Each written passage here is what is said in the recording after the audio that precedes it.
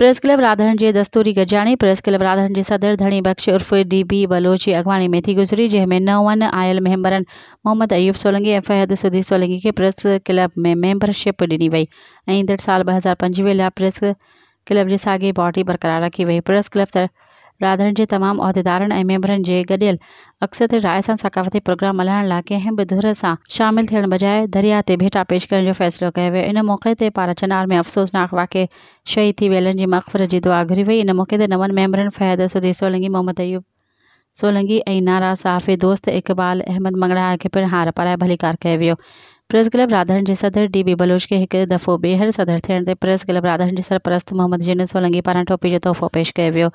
ऐं press club जे समूरनि मेंबरनि मेंसि मुबारक ॾिनियूं मज़ीद ख़बरनि ऐं तफ़सीलात लाइ विज़िट कयो असांजी वेबसाइट